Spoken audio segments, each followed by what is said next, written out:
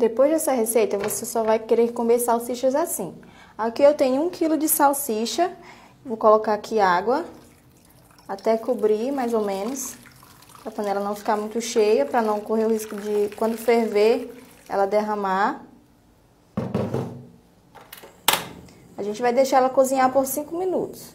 Então, pessoal, agora que já ferveu por 5 minutos, agora eu vou retirar aqui, ó, tirar algumas. Olha só, vou colocar aqui na tábua. Então, pessoal, agora aqui a gente vai cortar elas em rodelas. Rodelas não muito grossas, assim, mais ou menos um dedo. Então, pessoal, agora que as salsichas já estão cortadas, agora eu vou pegar aqui vou colocar elas nessa tigela, olha só. E a gente vai fazer a nossa mágica. Então, pessoal, agora aqui a gente vai fazer o nosso molho. Aqui eu vou colocar uma colher de sopa de ketchup. Pode ser qualquer ketchup, se você tiver o picante, pode ser o picante, também fica muito bom. Agora eu vou colocar aqui duas colheres de mostarda. Bem generosos.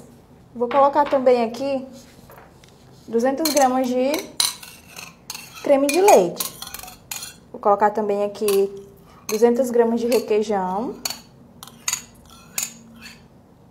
Vou colocar também aqui uma pitada de pimenta do reino para dar aquele sabor.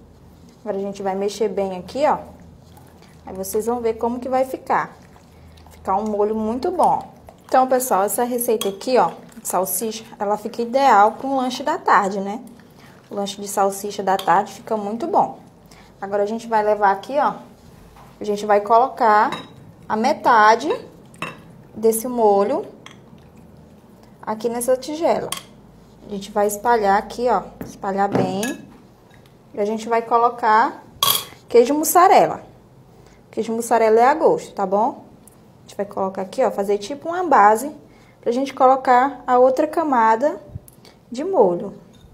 Pode colocar bastante. Olha só, pra ficar bem. Bastante queijo. Olha só. Tá bom? Eu vou colocar mais uma camada do molho. Olha só que vai depender do tamanho da sua tigela. Aqui eu tenho essa pequena, né, de mais ou menos 2 litros. Eu vou espalhar aqui novamente. Olha só. Aqui eu vou colocar mais queijo.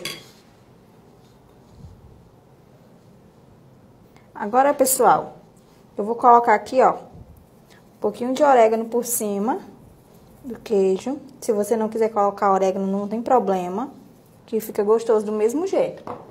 Agora aqui a gente vai levar pro forno por 25 minutos, 180 graus. Então, pessoal, o nosso lanche já ficou pronto, ó. Agora a gente vai tirar aqui, ó. Pra vocês verem como que ficou. Fica bem suculento, ó. Olha só, bem cremoso.